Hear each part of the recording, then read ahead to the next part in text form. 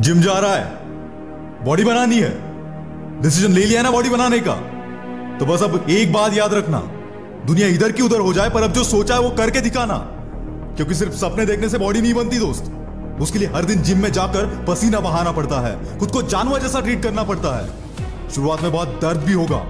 पर याद रखना, ये दर्द तभी होता है, जब तेरी कमजोरियाँ तेरा शरीर छोड़कर जा रही हो।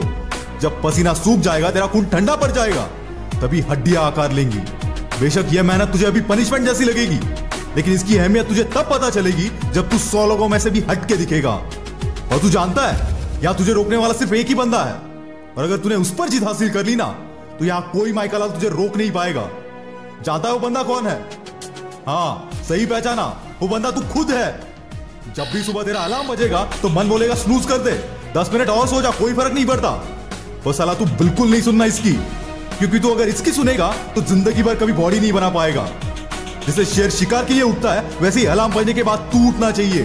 क्योंकि तुझे कैसा दिखना है, ये तुझे तय करना है। तू उन दस लोगों में से दिखना चाहता है जिन्हें कोई नोटिस नहीं करता। क्या तेरी जिद है ऐसा दिखने की, जिसे हर कोई नोटिस करे?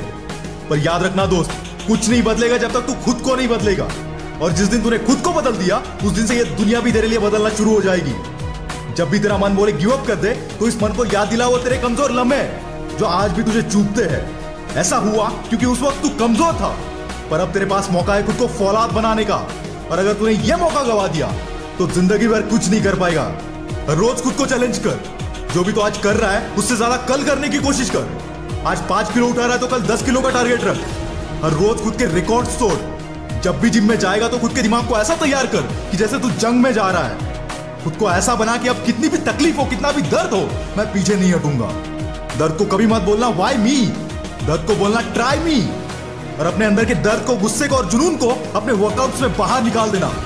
और मैं जानता हूँ अब तू पीछे नहीं हटेगा, क्योंकि तू एक शेर है। आग लगी हो तो अपने हर एक भाई के साथ शेयर कर देना। और वीडियो अच्छा लगा तो ही वीडियो को लाइक करके चैनल को सब्सक्राइब कर देना।